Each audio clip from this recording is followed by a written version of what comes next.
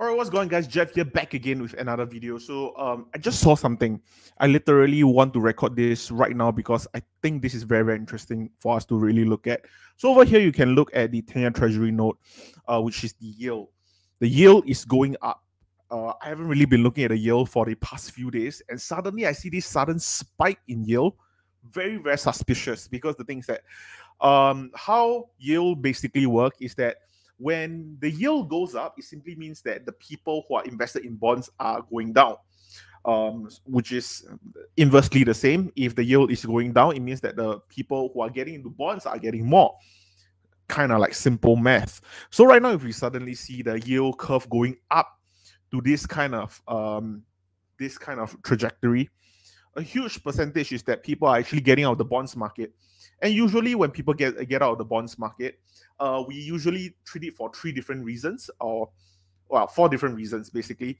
Uh, the first one would be to put it into the stocks market. The second one will be to the commodities market. The third would be for crypto, and the fourth will be basically to just put it into the bank, simply just save hodl cash.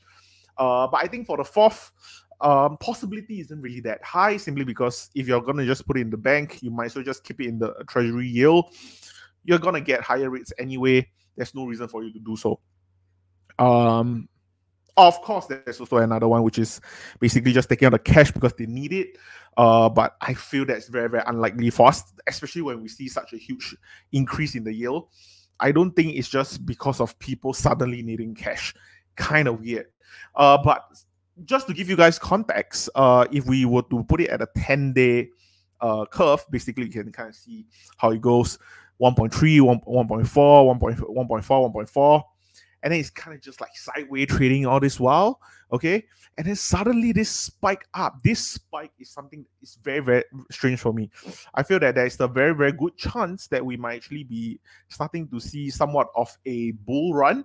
Uh, I feel that there is a good possibility that people might actually want to take out cash from the bonds market and just plow everything into the stocks market, uh, commodities, crypto, like what I said before.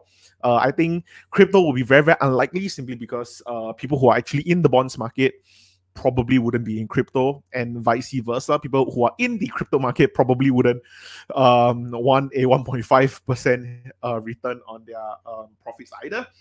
People in crypto want 1700%, 17,000%. We do not want 1.5%. Uh, but yeah, um, I think that the, the high chance that we actually see a bullish indicator for the stocks market is very, very high. Uh, I feel that this would be a very, very important thing for us to look at, especially for the next few days to few weeks. Uh, this might be a very, very good indicator for us to really look at the market. Uh, but yeah, I'm very, very excited for this. Uh, but anyway, uh, just a short video. Uh, I actually just finished recording a video that I'm going to be uploading, but I'm going to be uploading this first because this is very important. Anyway, hope you guys like this content. Do follow me on my Instagram right here. Uh, I'll be posting um, news every single trading day uh, on my Instagram um, after January. Anyway, thank you guys for watching, and I'll see you guys next time. Bye.